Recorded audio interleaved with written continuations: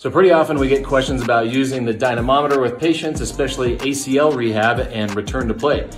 Sometimes it doesn't take technology, even though this is pretty basic technology. Sometimes it just takes a tweak to the screen to see where they're at and how far you can take their progression. So if we have an ACL patient, do a double leg hop test. So go ahead and double leg hop. Looks pretty good. Now if we go uninvolved, hop on your right foot and we compare that to the left.